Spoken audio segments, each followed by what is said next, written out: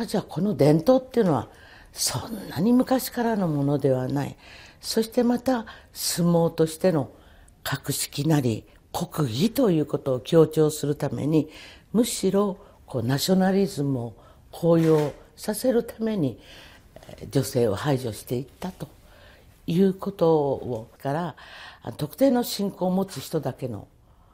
ものではない。国民的な行事。そこに、えー、